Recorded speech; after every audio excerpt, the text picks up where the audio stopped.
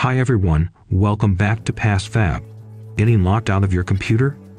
Don't worry, today we will show you how to bypass Windows lock screen. First you need a password reset disk. If you didn't create password reset disk before, get PassFab 4 Win key to create one. Run it on an accessible computer. Insert a disk and select it.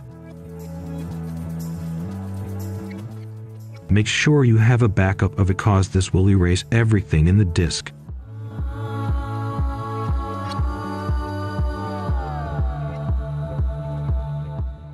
Once done, insert the password reset disk to your locked PC.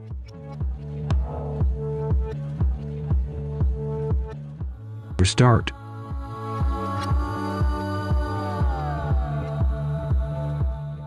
Press F12 to enter boot menu.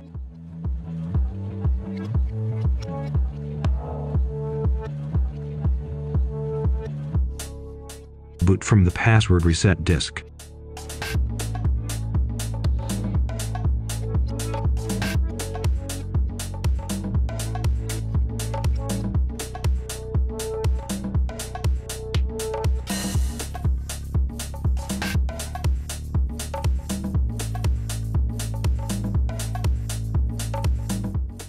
Choose your OS version.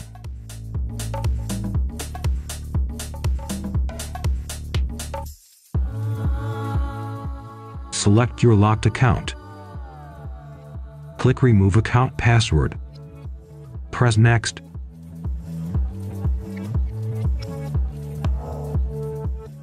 Later, reboot the computer.